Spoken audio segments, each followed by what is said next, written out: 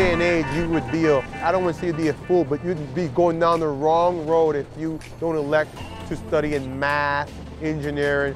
It, everything's technology in any job you do nowadays. My name is Davy Registe. I work for Alaska Railroad and I'm a conductor and engineer.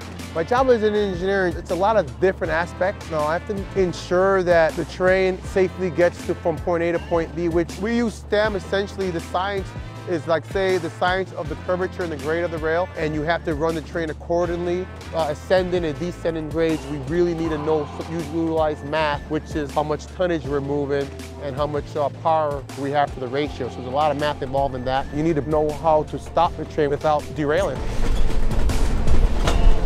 I actually went for computer science at the King Career Center. That's what field I went to college for. I would thought I'd be doing that. However, I realized with my energy level, I didn't like to sit still in one place and I end up working for the railroad and because they train you and you can go anywhere in the railroad industry, I decided I like to stay there. You are welcome to move about the train today.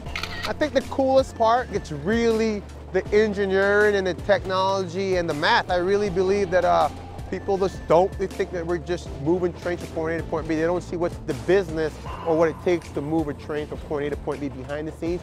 And it's just very, uh, it makes you, it, it, makes it very fun and it makes it, uh, you feel very proud.